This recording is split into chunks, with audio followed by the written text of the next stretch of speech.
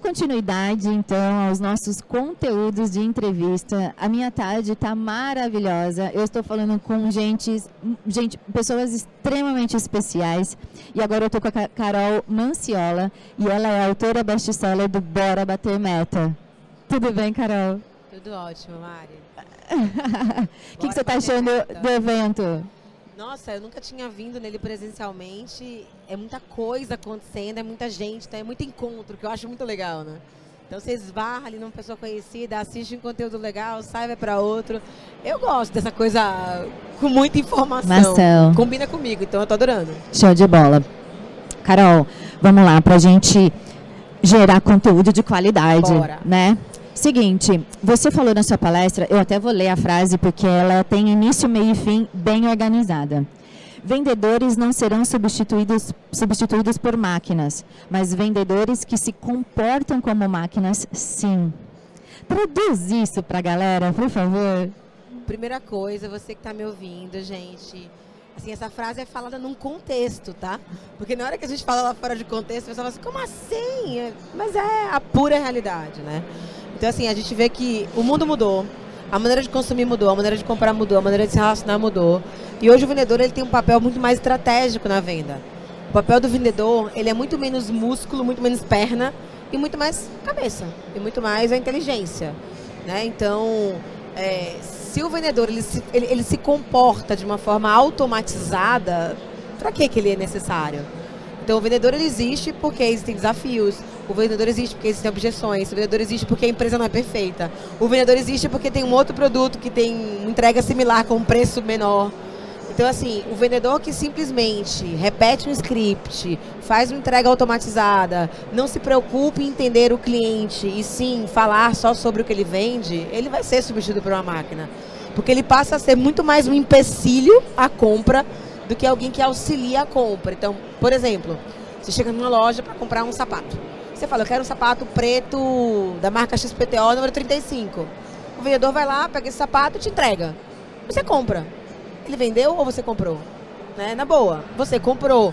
Aí eu fico pensando, meu, esse cara só fez demorar, porque ele subiu no estoque, trouxe um monte de coisa que eu não queria, né? Ficou tentando me empurrar um cinto, uma bolsa e tornou o meu produto mais caro, porque provavelmente aquilo que eu comprei deu uma comissão para ele. Então, assim, ele era desnecessário naquele momento. Por quê? Porque eu sabia o que eu queria, tanto que hoje a gente acaba migrando muito pro digital.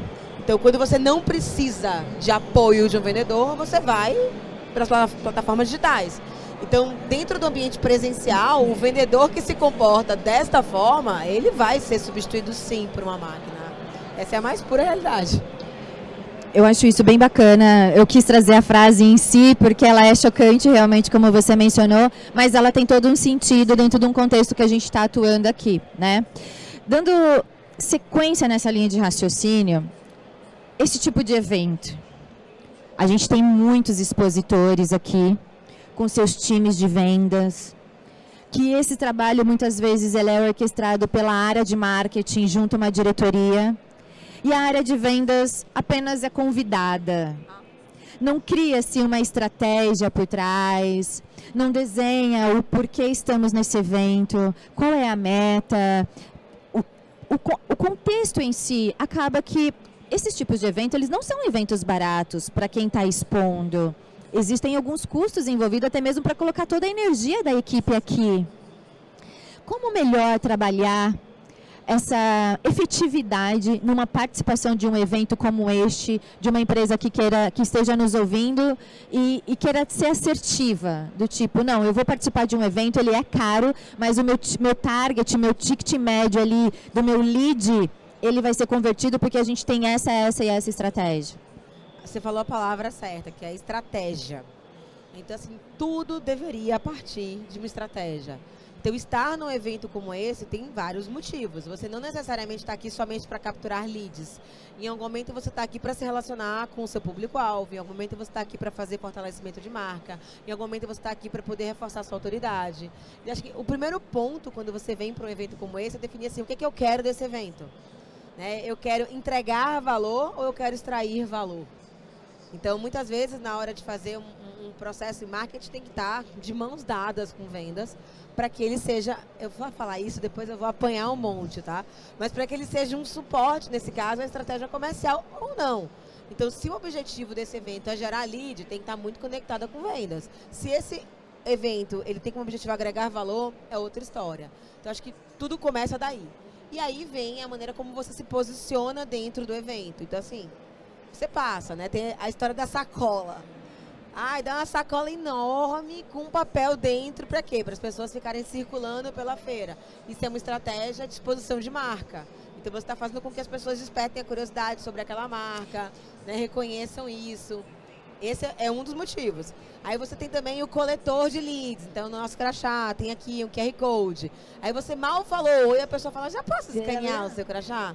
Aí depois te manda uma mensagem assim, né? Que eu acho muito engraçado. A pessoa escaneia seu crachá, não conversou um segundo com você e é, Carol, conforme conversamos lá né, né, no evento XPTO, então assim, é, é um desperdício quando você vem para um evento desse e você não tem uma estratégia é, muito bem construída e uma execução melhor ainda. Quando você fala assim, ah, a gente investe num evento desse e vendas vêm como convidado. Né? Ok, vendas vir com convidados, se a estratégia não for uma estratégia de vendas. Eu, por exemplo, hoje no meu negócio, a gente participa de várias, várias feiras focadas. E o nosso, nosso objetivo nessas feiras nunca é vender. É gerar conteúdo para que as pessoas depois queiram comprar da gente. Então, neste caso, o meu time comercial, quando vai, ele vai muito mais para fazer relacionamento. Ele manda mensagem para os clientes, fala, olha, eu vou estar tá lá, passa para tomar um café, vamos conversar, etc e tal. E nisso, nessa estratégia de geração de conteúdo, acaba gerando algum tipo de proposta e acaba gerando uma venda. E aí tem um pouco disso também. Né? Como é que você mensura o ROI, né? que é o Return on Investment de um, de um evento como esse? Né? Ele é. Existem maneiras e maneiras de medir. Você pode fazer isso no final e dizer assim, cara, a gente gerou tantos leads, essas leads converteram em tanto de vendas e fazer uma ligação direta. É uma estratégia.